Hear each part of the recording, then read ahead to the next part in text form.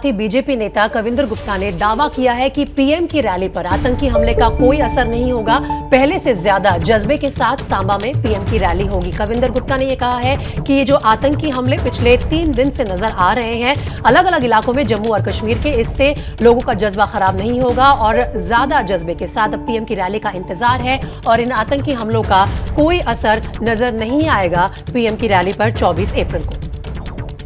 जम्मू में सुरक्षा बलों ने आतंकी के एक बड़े हमले को नाकाम किया है। इस पर बात करने के लिए हमारे साथ जम्मू कश्मीर के पूर्व उप मुख्यमंत्री कविंद्र गुप्ता जी कविंद्र जी, कैसे देखते हैं प्रधानमंत्री मोदी के दौरे से पहले इस हमले को? देखो, स्वाभाविक बात है कि इस पर इस रैली को नाकामयाब करने के लिए, यहाँ पर दहशत फैलाने के लिए, आने वाले समय में अमरनाथ यात्रा जिस प्रकार से हो रही है, इन सभी चीज़ों को रोकने का प्रयास किया गया। लेकिन हमारी, जो जाबाज पुलिस है सीआरपीएफ है, आर्मी है और टीआरएफ है आईसीएसएफ है, इन सभी लोगों ने इस ऑपरेशन को करके तो मुझे लगता है इन सबको नाकाम किया है।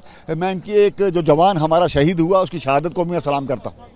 किस तरह से देखते हैं? क्या ये आतंकियों की बौखलाहट है कि अमरनाथ यात्रा आने वाली स्वाभाविक बात है पाकिस्तान की भूखमरी अपने अंदर के कारण से इस प्रकार के लोगों को ये कोशिशें करते हैं। लेकिन जब हमारे एजेंसीज को एक फीडबैक मिला एक इनपुट मिली उसी के बाद उन्होंने जल्द इस चीज़ को अंजाम दिया।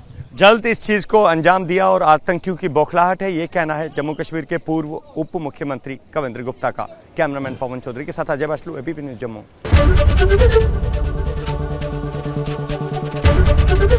ABP news. आपको रखे आगे।